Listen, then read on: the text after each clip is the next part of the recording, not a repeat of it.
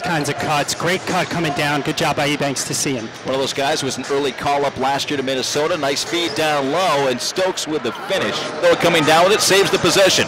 Now to Brown. Step through. Shot blocked by Stokes with 14 left on the shot clock. It'll be drive basketball underneath their own basket to our right. Ends are trying to get forward on the backside. Back to the way. Liggins for the feed and the easy lay-in for Jarnell Stokes out of Tennessee. Else will be there. Whittington back in the lineup for the Skyforce. Liggins on the penetration. Leaves it for Stokes. Nice spin and with the left hand puts it up and in. I think Kelsey Barlow even takes last year. Playing with a lot of confidence. Paulo, nice feed to Stokes opposite, and he drains the 12-footer along the baseline. After he hit his first three. Tied at 42. Stokes trying to muscle his way down against Sims. Up and under. Pretty move, Jarnell Stokes. Last second to get the shot up. That was a little hop, skip, jump, and everything for Lorenzo Brown. He did think it away a little bit of a travel down. Jarnell Stokes down low with the half hook, puts it up and in.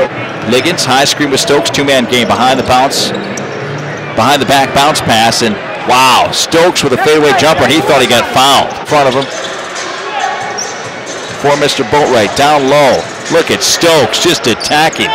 Nothing really Henry Sims can do. Remember, he's hampered a little bit with the foul trouble. Kick back out. Whittington for three. No off the back iron. Can't get the rebound, though. Stokes again. Lost the handle. Hop step, and he gets away with it with a bobble and puts it up and in.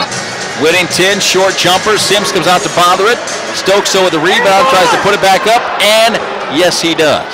And in off the window. He thought there was a foul as well. Shake and bake against Liggins. Can't lose him. Nice no-look pass. Sims goes up. Shot blocked by Jarnell Stokes.